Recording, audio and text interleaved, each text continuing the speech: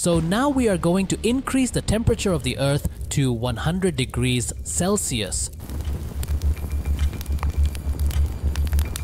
Not forever, but not for long, just for 5 seconds. So think about how this high temperature affects our ecosystem and what will happen to life on Earth. So after these 5 seconds are over, will everything be as it was before? How long will it take to recover? So today, let's talk about the effect if the temperature of the Earth is a 100 degrees Celsius.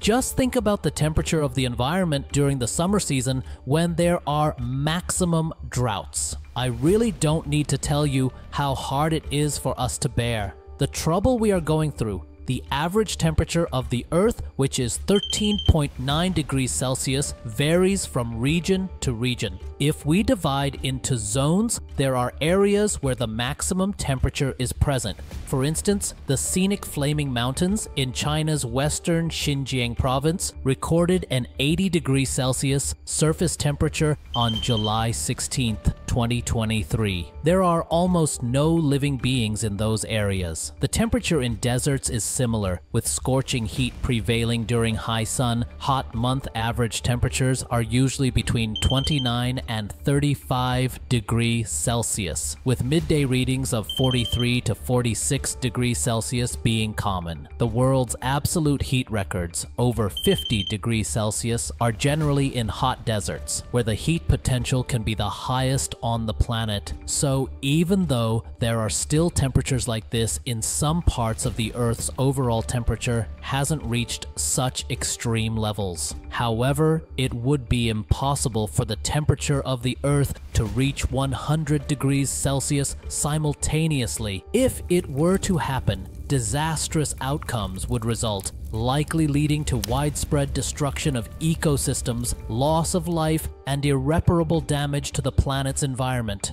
Dry forest areas will ignite simultaneously, leading to widespread fires. Many plants and animals will be burnt and die as a result. More than 80% of bird species flying in the sky could perish due to the extreme heat. Mammals might endure the temperature to some extent, but severe burns would afflict their bodies, like all victims. As humans, we must remain vigilant and find ways to stay safe. Seeking shelter and taking precautions are essential. However, what will happen if you don't take precautions? Exposure, even for a short time, will result in severe burns to the skin.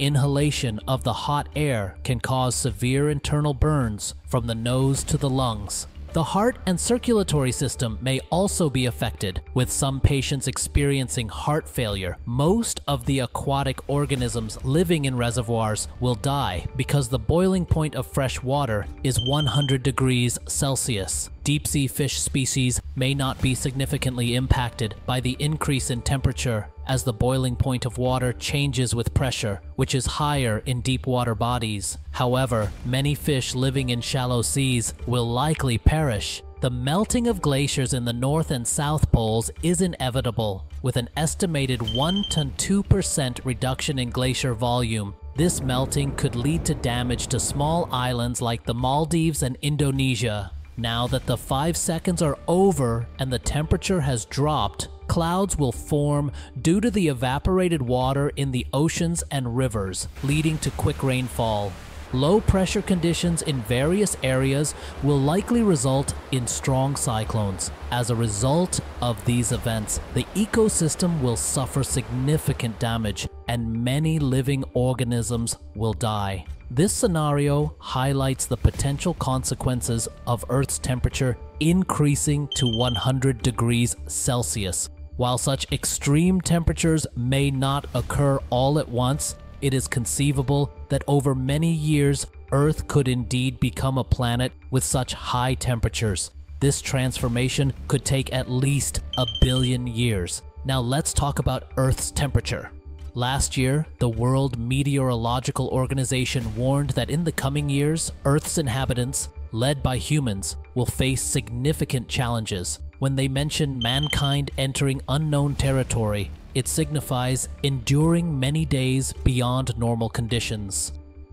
Over the next five years, global temperatures are expected to soar to record levels, posing severe health threats, disrupting daily activities, leading to significant water and food shortages, and possibly necessitating states of emergency akin to those during the COVID 19 pandemic. Global mean temperatures are forecasted to continue rising and move further away from the familiar climate stated Leon Hermanson, a UK Met Office scientist who spearheaded the WMO report. The Earth's temperature will not spike abruptly, but due to our own actions, it will gradually increase. Considering this, it becomes crucial and urgent for us to evaluate the seriousness of the situation and determine the necessary measures to address it. So, use your brain. Goodbye.